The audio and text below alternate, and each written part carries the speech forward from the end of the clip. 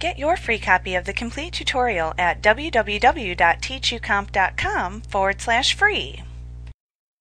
You can make changes to many payroll item fields directly within the Employee Defaults window.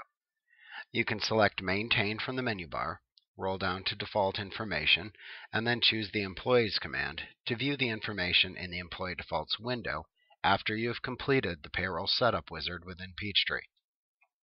The General tab contains the field for locality, if it's used in payroll, as well as custom fields that allow you to store custom employee data of your choosing.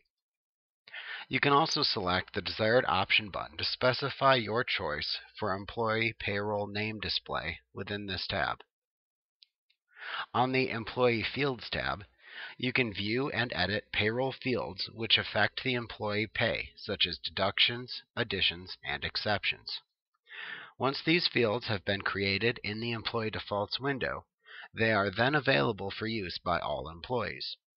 You can then customize these individual fields for each employee's personal record later on as needed.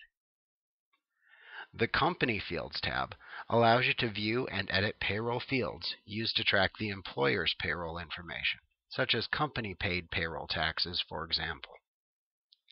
Starting in Peachtree 2010, you also have the Review Ratings and Employment Status tabs. You can enter default employee ratings into the Review Ratings tab. You can enter up to 10 statuses used to measure employee performance, such as a numeric performance rating, for example, on this tab. Now you can enter up to 10 employment statuses into the Employment Status tab. There are some provided by default, and you can choose to keep them and add more if needed, or you can recreate them all as you prefer. Now once you've made any changes that you wish to within this window, you can then click the OK button to apply your changes to the company file.